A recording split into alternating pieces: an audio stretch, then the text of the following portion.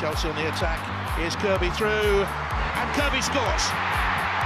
And it's in the third minute of the game, and Chelsea are ahead.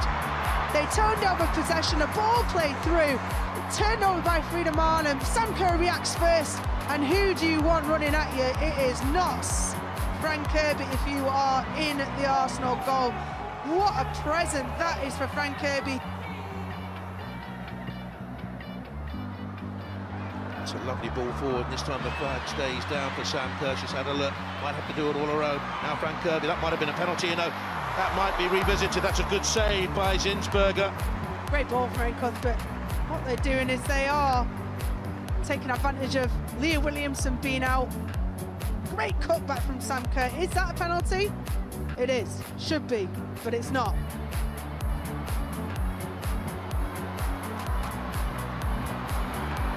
Arsenal flooding back, but very slowly. Little step over. Opportunity for Kirby. Good save. She's having a very, very good final, the Arsenal goalkeeper, Zinsberger. Ingle forward. Straight foot race here.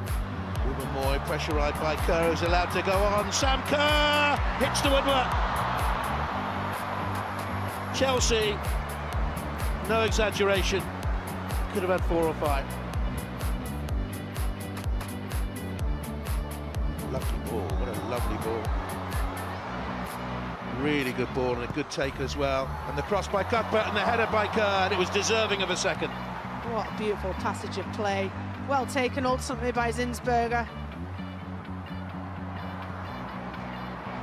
You've got a chance here for Kerr to get in behind Wubben-Moy. He's all alone here, Sam Kerr. Fleming's joining on the far side. Kerr doesn't use her, wrong foot's the goalkeeper. Chelsea are 2 0 up, they have one hand on the cup. They undo Arsenal with a simple direct ball, head down, running at player, 1v1, and a clinical, knowledgeable finish from Sam Kerr. Sticks it in at that near post. Kerr looks for Kirby, she's okay now.